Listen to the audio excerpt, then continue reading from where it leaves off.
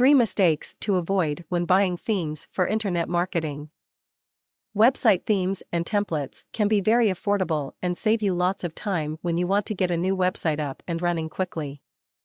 Many online beginners make some big mistakes when choosing a theme or template and find themselves with a crappy site or just something they didn't have in mind and wasted money.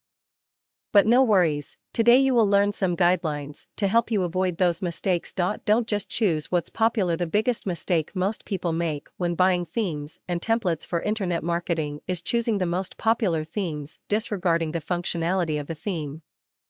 Think about it if you choose the same themes as 3,855 people, what will make your site unique, anyways? When choosing a good theme, look at not only how popular and pretty it is, but how easy it is to use and does it have the functions you are looking for on your site? The whole point of using a web template is to save time and effort.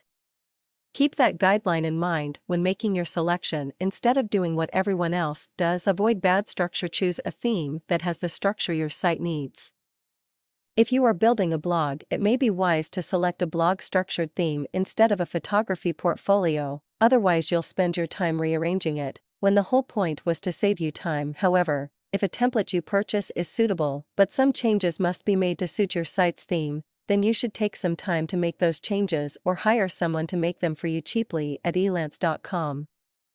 Don't pay for a complete rebuilding, just pay for them to change the style of it. You may like the layout and structure, for example, but the theme was built for gardening and your site is about fishing. These can make perfect unique themes after changing the style to your own. Make sure it's compatible. The last big mistake people make when buying a theme is not paying attention to the compatibility of the theme in browsers. This is a big deal because if your theme looks great in Firefox or Safari and looks like rotten cheese on Internet Explorer, you're wasting your time and money. Find themes that are compatible with the major browsers. That's it. This will help you rank better in search engines and keep your viewers happy. Choosing a theme is fun, but you have to be careful in selecting themes that suit your audience. Do not choose templates just because they are pretty, choose them because they serve your purpose.